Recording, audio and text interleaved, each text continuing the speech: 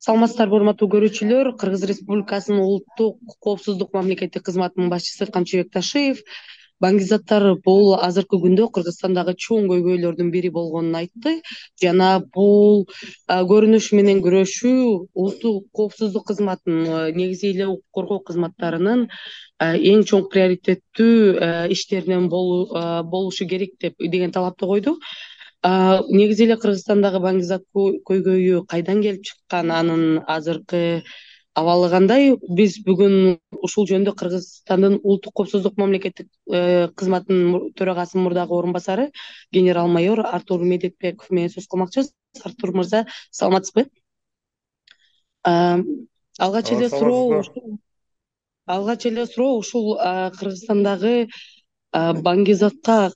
каршы күрөш ушинтип башталды дейт негизи кыргызстанда баңгизат көйгөйү мурдатан бери кандай болчу? Азыркы убакта бул көйгөй көбүрөөк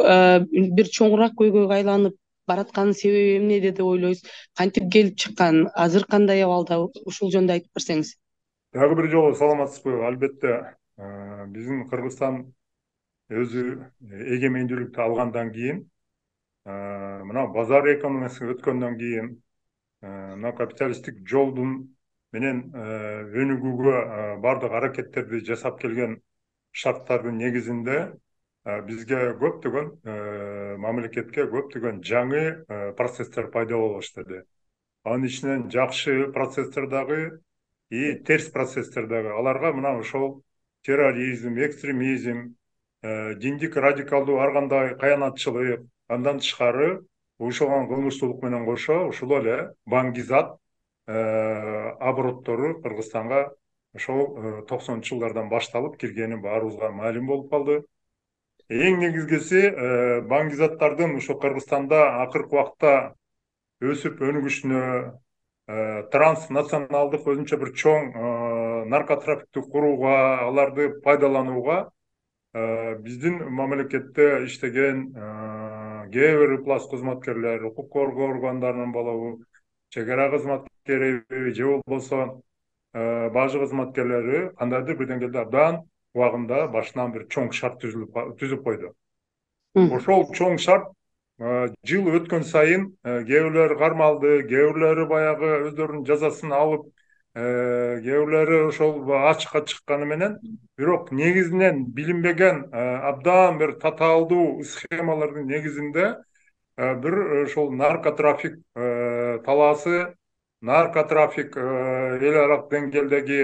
мына жолу акыркы убакта абдан бир чоң билинбеген бир чоң мамлекетке зыянын келтирүүчү коомчулукка зыянын келтирүүчү бир мындай көрүнүш болуп калды ошонун негизинде убагында тилекке каршы укук коргоо органдары начар күрөшкөндүктөнбү экинчиден коомчулукка анча чоң мамлекет мындай маани бербегендиктен жогорку деңгээлдеги бийликтеги биздин кызматкерлердин дагы буга көп мындай мамлекеттүү түрдө көңүл бурулбагандыгынын негизинде бүгүнкү күндө ушул наркотрафик нарко көрүнүш же болбосо нарко ситуация биздин мамлекетте абдан бир чоң мындай терс көрүнүшкө айланды. Ошону менен бирге бул нарко көрүнүшкө нарко ситуацияга мындай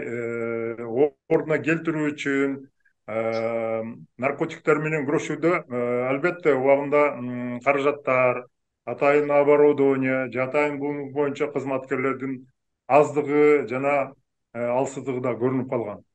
бирок тилекке каршы анткени менен дайыма укук коргоо органдары бул нарко көрүнүшкө наркотрафикка дайыма аябыз күрөшүп келген. Бирок жыйынтыгы дагы эле болсо начар. Себеп дегенде эгерде убагында бүгүнкү күндө да аябыз күрөшүү менен бирге бир чоң чоң ийгиликтерге жетишкенде балким бүгүнкү күндөгү мынабу нарко ситуация нарко көрүнүш мындай жагдайга жетпейт эле эң негизгиси ошо наркотиктердин тарашы келиши бул биринчиден мамлекеттин ичинде болуп атат бул баягы мамлекеттин ичинде өсүп кыргызстандын баягы жаратылышында өскөн ошол эле жанагы мына конопля дейбизби коноплянын да ар кандай түрлөрү баягы ысык көлдө чүйдө таласта өзүнчө өздөрүнүн аттары бар. Ошону менен бирге мынабу мамлекеттин ичинде жана синтетикалык наркотиктерди чыгаруу нарко лабораториялардын иштеши буга өзүнчө бир ошо нарко көрүнүштүн чоңоюшуна абдан себеп болуп атат. Экинчи бул тышкы жагы тышкы наркотиктердин келиши бул ошол эле опиумдун же болбосо ошол эле гашиш афганды гашиштердин келиши аны менен кошо акыркы убакта акыркы бир он жыл он беш жылдын ичинде өтө мындай оор наркотиктерди ишенген героиндин ушу кыргызстанга келип кыргызстан аркылуу башка мамлекеттерге анын ичинде россия казакстан батыш европага чейин жайылышы буга дагы бир ушундай себеп болуп атат. Ошон үчүн бүгүнкү күндө ушул кыргызстандын ичиндеги өсүп кыргызстандын ичинде мындай чоң жагдай түзүп аткан наркотиктер менен ошонун ичинде синтетикалык наркотик менен күрөшүүдө өтө татаал өтө кыйынчылыктар туудурганы бул бүгүнкү күндүн көрүнүшү дагы эле далилдеп турат ал эми тыш жактан келип аткан наркотиктерге акыркы убакта биздин ошо тилекке каршы укук коргогондор болобу чек арачыбы же болбосо мамлекеттик деңгээлдеги кызматкерлер буга өздөрүнүн кандайдыр бир салымын кошкон учурлар да бар а кээ бирлери ошол иштеп өмүр бою ошо менен алектенгендеги алектенип ошонун негизинде байып же болбосо ого малынып ошол негизинде чыга албай калган дагы эле болсо кээ бир ыплас кызматкерлер дагы эле бар албетте мунун баардыгы бул жөн жерден эмес баардыгы жакшы жашагысы келет байыгысы келет экинчиден ошону менен бирге бул жерден дагы бир өтө чоң коркунучтуу көрүнүш ошол наркотиктердин мамлекеттин ичиндеги чыккан жана сырттан келген наркотиктердин кыргызстанда калып калышы анын жайылышы албетте баягы ошол баңгизатка мындайча айтканда кызыктар болуп баңгизаттан зависимый болуп ошого көз каранды болуп калган биздин жарандардын өзгөчө жаштардын өзгөчөлөн ошолорго бир катуу таасир тийгени бүгүнкү күндөгү абдан терс көрүнүш болуп эсептелет. Себеп дегенде ошол келген наркотиктердин же болбосо биздин мамлекеттин ичинде чыгып аткан жанагы талаалардан ошол ташып же даярдап же синтетикалык наркотиктерди даярдап аларды ошол өзгөчө мынабу чоң чоң шаарларда бишкек ош жана башка шаарларда жайылтып сатып андан пайда көргөндөр же болбосо ошол эле наркотиктерди мынабу пенитенциардык системада же болбосо түрмөлөрдө отургандарга жайылтып алардан өзүнчө пайда көрүп ошолорго кандайдыр бир деңгээлде өбөлгө болгон же жардам берген кандайдыр кээ бир укук коргоон кызматкерлери же болбосо ошол мамлекеттик деңгээлдеги кызматкерлер дагы ар кандай өздөрүнүн бир ошолорго шарттарын түзгөн учурлар дагы эле болсо бар. Ошон үчүн күрөш өтө кыйын жана татаал болуп турат дагы бир айта турган маселе ушул баңгизаттардын жайылышы баңгизаттардын биздин мамлекетте калып калып ошол биздин жарандарга мындайча айтканда керектелиши аларга бир кандайдыр бир деңгээлде өздөрүнүн пайдасы келтирет деген ой менен жүргөн жанагы сатуучулар абдан чоң жаңылышып көбүнчө ошолорду баягы жаштарды же болбосо ошол баңгизатка мындай зависимый болуп калган жарандарды бир чоң чоң оорукчандарга айландырганы жана ошонун натыйжасында ошол баңгизат менен шугулданган же баңгизатка мындай көз каранды болуп калган адамдар көп учурда ар кандай жеңил жана оор кылмыштарды жасаганга көп учурда шарт түзүп коюп атат бул дагы өзүнчө бир чоң мындай терс көрүнүш болуп эсептелет эми акыркы убакта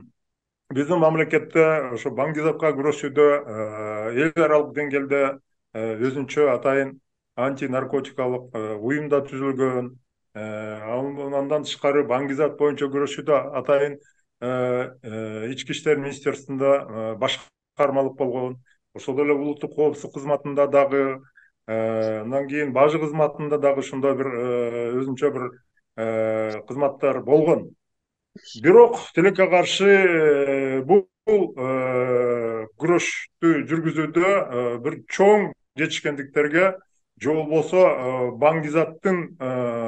кыргызстанга жайылышын же баңгизаттын ошо наркотрафик жол менен башка мамлекетке өтүшүнө мындай процентти менен көргөзгөндө бир чоң таасирин тийгизе алган жок. Бүгүнкү күндө дагы акыркы убакта ушул укук коргоо органдарынын кызматкерлери аябай эле өздөрүнүн баягы күнү түнү иштеген ден соолугун аябай эле күрөшүүлөрдү жүргүзүп атат. Бирок натыйжа тыянак аз деңгээлдеги болуп атат да. Себеп дегенде ушу биздин мамлекетке ушу наркотик баңгизаттардын жайылышы алар менен алектенген шумпайлар андан тышкары аларга жардам берген ошо кээ бир ыплас иштеген укук коргоо кызматкерлери булардын саны дагы сапаты дагы көп болуп ошол алардын токтотконго аларды мынтип айтканда жоготконго же болбосо аларды кандайдыр бир деңгээлде иш алып барууда көптөгөн бир иш чараларды көрүүдө укук коргоо органдарынын иштеген началары аз болуп атат үчүнчүдөн баңгизатталарды баңгизат менен шугулданган же ушул ар кандай бир кылмыш иштерин жасаган баңгизатка мындай өздөрүнүн байланышы бар адамдарды жаш кезинен жаштардын арасында өзүнчө бир профилактикалык иштери алдын ала алуу иштери дагы акыркы убакта биздин мамлекетте төмөндөп кеткен. Бул ачык айкын иш болуп андан тышкары мына ошо баңгизатка каршы күрөшүүдө акыркы убакта мына эки миң жыйырма бир жыйырма бешинчи жылы атайын өзүнчө программа кабыл алынды ички иштер министерствосунда эми ал программа көптөгөн маселелерди мындай көргөзүштү кандай күрөшүш керек кайсы жол менен кандай бир каражаттар керек болот бирок ошол программада дагы толугу менен жоюуга мүмкүн эмеслигин дагы бир жолу далилдеп өздөрүнчө бир жанагындай пункттарды киргизген экен. Анын арасында ошол аларды жогорку деңгээлден аябай төмөн түшүрүүгө минималдуу түрдө көптөгөн жанагы проценттерин түшүрүүгө баардык салымдарын кошобуз деген бир өзүнчө пункттар бар. Бирок баңгизат менен каршы күрөшүүдө албетте толугу менен мамлекетте өзгөчө бүгүнкү күндө базар экономикасы болуп турганда экономик жактан кризис болуп турганда андан тышкары толугу менен ушул баңгизат менен шугулданган шүмшүк шумпайлар жашы болобу карысы болобу же бир кандайдыр бир укук органда кызматта иштеп жүргөндөр булар абдан бир көптөгөн тажрыйбасы бар. Көптөгөн мындайча айтканда ар кандай окуялардан өткөн ошон үчүн булар менен күрөшүү өтө кыйын болуп турат ошон үчүн жыйынтыгы азыраак болуп турат бирок кандай болсо дагы эч нерсеге карабай ошол мамлекеттик программанын негизинде мыйзамдардын негизинде ошол баңгизатка каршы күрөшүүдө биздин укук коргоо органдары коомчулук мамлекеттик деңгээлде кызматкерлер толугу менен жардамын көргөзүп муну баягы массалык маалымат каражаттарында алар боюнча чагылдырып алдын ала өз түшүнүктүү түшүндүрүү иштерин профилактика иштерин жүргүзүп ошол боюнча мамлекеттик деңгээлде каражаттар укук коргоо органдарына бөлүнүп оборудование болобу ар кандай бир мындайча айтканда техникалар болобу ошолордун баардыгы убактылуу убагында берилип турса ошолор менен камсызданып турса албетте бул наркотикке баңгизатка биздин кыргызстандын ичинен өндүрүлүп аткан же болбосо тыштан келип аткан наркотикке каршы күрөшүүдө баардыгын потенциалдуу түрдө биз төмөндөтүп алар менен күрөшүүгө баардык шарттарды кое алабыз. Сиз негизи аябай көптөгөн маселелерди козгоп кеттиңиз да өз сөзүңүздө анан алгач эле суроо ушул жанагы кыргызстанга наркотиктердин келүүсү өзү кайсы убактан башталды анан коргоо кызматкерлери бул тармакка кантип кийгилешип калды аларды тартуу же болбосо вербовка дейбизби ал кандай жолдор менен жүрдү кайсыл өлкөлөрдө кандай мындай наркотиканы таратууда кыргызстандын эл аралыктагы бир орундары бар да мисалы ошол эле афганистандан келген сиз айткандай эле опиум кыргызстан аркылуу кайсы бир өлкөлөргө кетет э? Ушул ушундай жолдор кантип болуп калды? Же бул советтер союзунун убагынан эле калды беле ушул нерсе? Биринчиден эгерде тарыхка кайрыла турган болсок советтер союзунун убагында кыргызстанда жетимиш төртүнчү жылга чейин бир миң тогуз жүз жетимиш төртүнчү жылга чейин кыргызстанда ысык көл областында ошол опиум өстүрүлчү ал кыргызстанда советтер союзунун мамлекеттеринин арасында союздук өлкөлөрдүн арасынан кыргызстанда сексен беш процент опиум кыргызстанда өстүрүлчү дүйнөдө он алты процент кыргызстанда өстүрүлгөн опиумдердин бири болгон негизинен кыргызстанга опиум өстүрүү тарыхка кайрыла турган болсок албетте бул биринчиден кытайдан келген экинчиден бир миң тогуз жүз он төртүнчү жылы дүйнөлүк согуш башталганда россия менен германия согушуп анда катышканда албетте ошол жарадарларга ооруларга опиум керек болчу. Дегенде опиумден ар кандай дарылар ага чейин россия империясы көптөгөн опиумдарды же опиумдон жасалган дарыларды турциядан алып турган. Турция германияны кошулгандан кийин албетте ал жактан алууга мүмкүн эмес. Анан ошончу он алтынчы жылдардан баштап ошол россиянын территориясынан кыргызстанда жакшы жер ыңгайлуу болуп кыргызстанда өстүрүлүп калган. Жыйырма төрт жыйырма үч жыйырма алтынчы жылдары дагы кийин токтотулган бирок кийин советтер курулган алтымыш жылдары кайра бул бизде өстүрүлүп калган жетимиш төртүнчү жылдан кийин толугу менен буга тыюу салынгандан кийин советтер союзу курагандан кийин токсонунчу жылдардын баштарында баягы мындайча айтканда базардык экономикабыз өткөндөн кийин акыбал өтө оор болуп турганда кыргызстандагы жаштар болобу же болбосо өзгөчө жанагы ушул ушуга окшогон эптеп акча табуунун максаты менен ар кандай жолдорду издешип жүрүп ушул кыргызстандын ичинде жанагы наркотика өстүрүлгөн. Ошол эле конопля дейбизби кара куурай же болбосо ошо кара куурайдын өзүнчө дагы бир нече түрлөрү болот. Талас чүй ысык көлдө өткөн ошолордон мындайча айтканда наркотикти алып сатып аларды бир жогорку деңгээлге чейин жеткизе баштаган. Ачыгын айтканда советтер союзунун убагында эле кыргызстанда ушул кара куурайдан ар кандай анашаларды ар кандай бир жанагы наркотиктерди жасап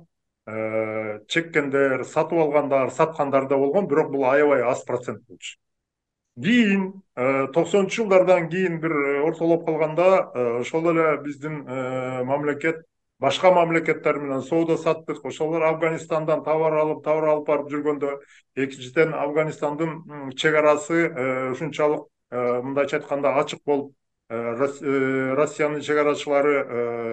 өзбекстандан да кетип түркмөнстандан дагы кетип ал эми тажикстандан дагы өздөрү кайтара баштагандан кийин албетте чек аранын баягы тосо турган жерлерине чек арачылар турса ал эми тоолуу аймактарда өзгөчө ар кандай бир жолдор бар. Ошол жолдор аркылуу контрабандык жол менен баңгизаттар өтүп турган. Ошол убакта албетте укук коргоо органдарынын кээ бир кызматкерлери болобу чек арачылар болобу акчага алданып азгырылып же болбосо кандайдыр бир туура эмес иштерди жасап коюп ошондон баягы кармаган учурда кой берип же болбосо өткөзүп андан тезирээк пайда тапкандан кийин бул аларга бир чоң стимул болуп анан ошондон кийин бул наркотиктердин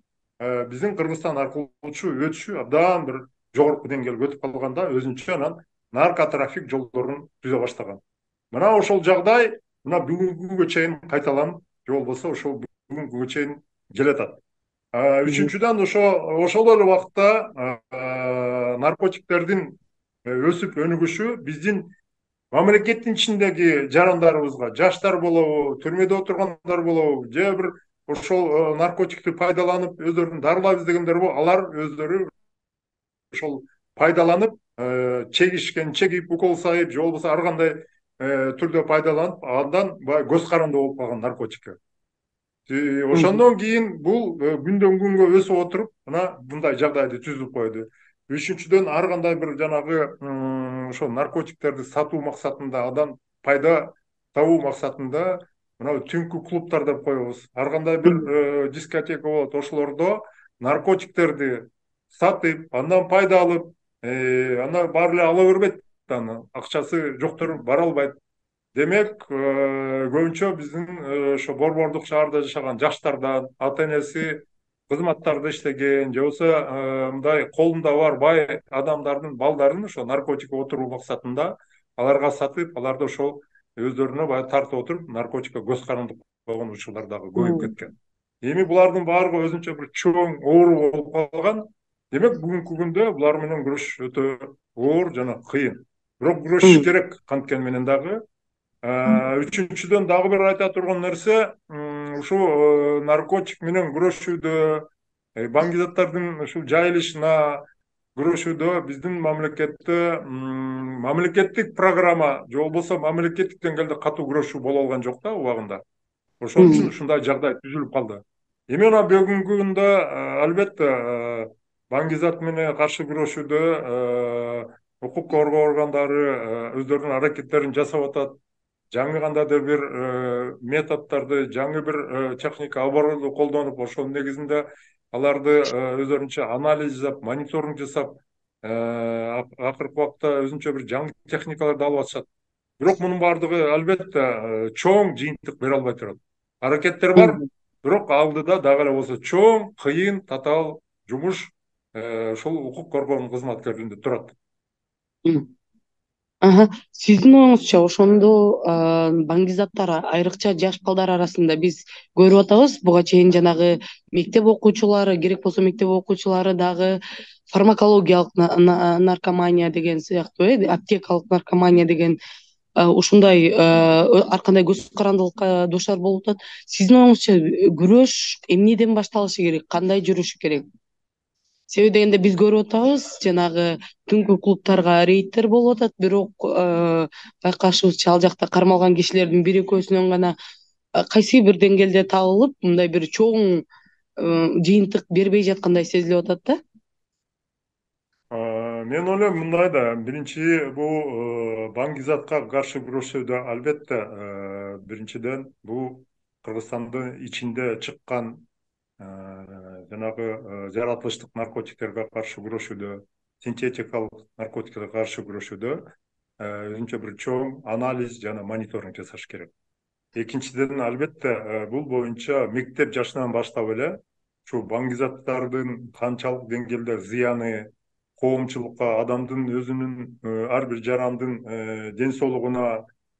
мамлекеттин мына бүгүнкү күндө тагдырына кандай бир чоң зыян келтирет ал боюнча атайын окуу сабак дейбизби профилактика иштерин жүргүзүү зарыл. Мектеп окуу жайларында үчүнчүдөн буга дагы ар бир үй бүлөдө ата энелер дагы өздөрүнүн салымын кошуш керек. Төртүнчүдөн эң негизгиси массалык маалымат каражаттары бул боюнча атайын чыгармаларды мамлекеттик каналдар аркылуу дагы бир жумабы же бир айда эки үч жолу ушул боюнча кандай иштер жүрүп атат кандай иштер кармалып атат эмне үчүн мындай болуп атат. Ошол боюнча атайын анализделген материалдарды чыгарып турса дагы бул өзүнчө бир сабак болот. Андан тышкары албетте мыйзам бүгүнкү күндө бар бул боюнча атайын программалар да бар. Ушунун негизинде албетте жер жерлерде өзгөчө мисалы үчүн жанагы мен айтып кеткен жаратылыштык наркотика бар өсүмдүктөр бишкекте өспөйт анын баардыгы же ошто өспөйт анын баардыгы мынабу айылда тоолордо ошол жакында айыл кыштактарда өсөт демек ошол жердеги жергиликтүү органдын кызматкерлери ошол жердеги ошол жерде караган укук коргоонун кызматкерлери ошол жерде абдан чоң контролду жасаш керек ошол жерден көп баягы ташыйт же болбосо ошол жерден даярдайт ошол жанагы жаратылыштык өсүмдүктөрдөн жасалган наркотиктерди ошол эле коноплядан экинчиден биздин бишкек шаарында мына акыркы үч жылда жыйырма жети нарко лаборатория мына кармалып алардын баары жок болду мына мисалы үчүнчү кыргызстанда бул эмне дегенде бул ата бул аябай чоң тенденция бул аябай чоң тенденция бул мындай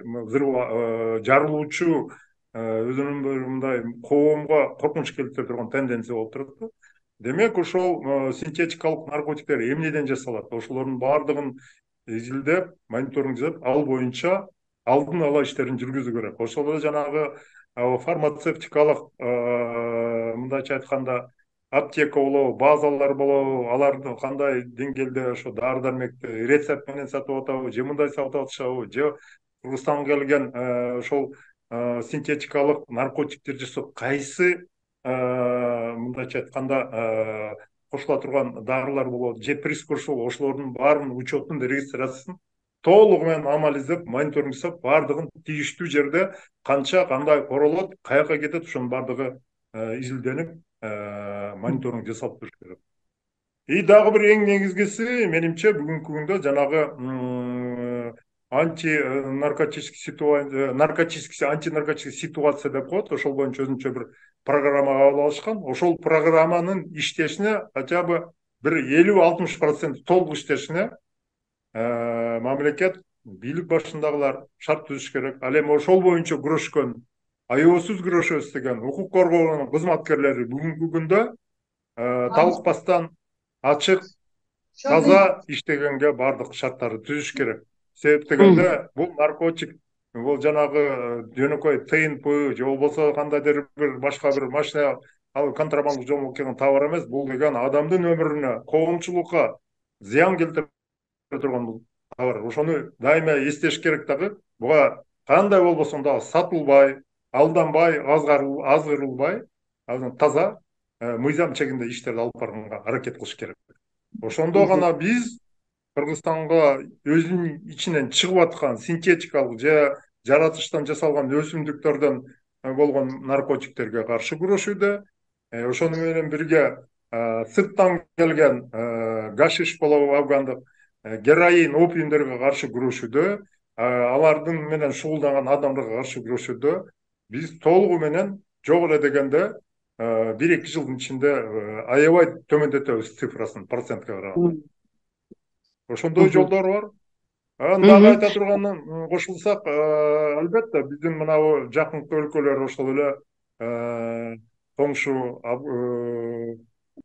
өзбекстан казакстан россиянын укук коргоо кызматкерлери менен дайыма байланышта болуп алар менен баягы маалымат алышып алар боюнча баягы мониторинг анализ жүргүзүп туруп ошонун негизинде иштеп турсак дагы бул деген көп көп маселелердин чечилишине жардам берет. Биздин убактыбыз аягына чыгып баратат дагы бир суроо. Ушул негизи наркотикалык кайсы бир заттарды мисалы кайсы бир өлкөлөр мындай легалдаштырып колдонууну жеңилдетип аларда жоопкерчилигин дагы криминалдаштыруудан алыстатып атат да негизи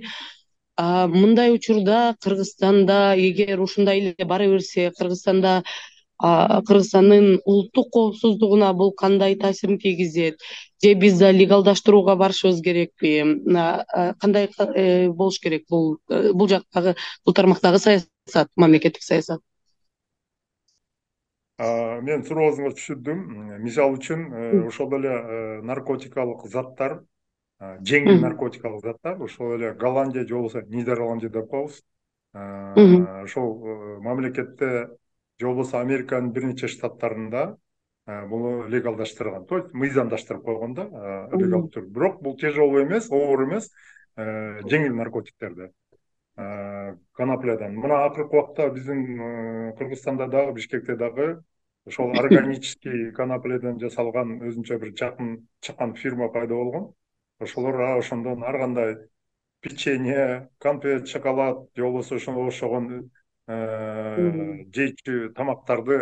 магазиндерде сатып акыркы убакта бишкекте да пайда болуп калды. Эми бул органический булар өзүнчө мындайча айтканда уруксат табылган технический конопля деп койсок болот да. Негизинен жана мен айтып кеткен ошол эле нидерландия же болбосо америка кошмо штаттарындагы өлкөлөрдө ушул жеңил наркотиктердин легалдаштыралы бул өзүнчө бир мамлекеттик кандайдыр бир саясат болуп эсептелип атат экинчиден ал мамлекеттерде буга алардын эли жана коомчулугу кандайдыр бир деңгээлде даярдыгы бар. Көп жагынан экинчиден ал өлкөлөр бай баардык жагынан бай өлкө болуп эсептелишет арышкан жетиштүү өлкөдө ал эми биздин кыргызстан мамлекетинде мынабу социалдык экономикалык кризис күчөп турганда биздин мамлекетте саясий процесстер дагы эле болсо көп жагынан чабалдыгын көргөзүп турганда базар экономикасын курчуп турган убагында ушундай бир шарттарга барганыбыз ошо жеңил наркотиктерди легалдаштырабыз дегенибиз. Бул абдан чоң катачылык болот биринчиден экинчиден туура эмес биздин коомчулук дагы эл дагы мамлекет дагы мындайга даяр эмес үчүнчүдөн дагы айта турган нерсе бул бүгүнкү күндө ушул жанагы ар кандай парламентте дагы убагында кээ бир министрлер да айтып чыккан ошол кыргызстанда ошол кайрадан опиум сепсе кайрадан опиумду баягы өндүрсөк анан андан дары жасап сатсак деп ар кандай бир пикирлерди сунуштарды киргизген учурлар да болгон бирок алардын баардыгы коомчулукта дагы парламентте дагы мындай катуу сынга алынып ошол ойдон калып калган бирок бүгүнкү күндө биз кандай болбосун биринчиден биздин коомчулукту кандайдыр бир деңгээлде ошол өздөрүнүн аң сезимин жогорку деңгээлге чейин ушул наркотиктин канчалык зыян бардыгын зыянчылыгын көргөзүүгө алардын түшүнүгүнө биз жардам беришибиз керек. Экинчиден кандай болбосун ошол бүгүнкү күндөгү болуп аткан окуялар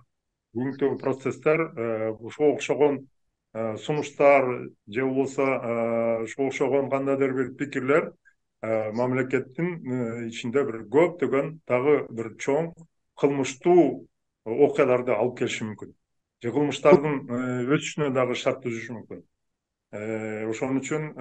буну бүгүнкү күндө мындай сунуштан кичине биз алыстыраак болушубуз керек. Эң негизгиси ошол наркотикке каршы күрөшүүдө баардык мен жогоруда айтып кеткен шарттарды түзүп ошонун иретинде иштешибиз керек. Үчүнчүдөн дагы бир айта турган эң дагы бир стратегиялык мунун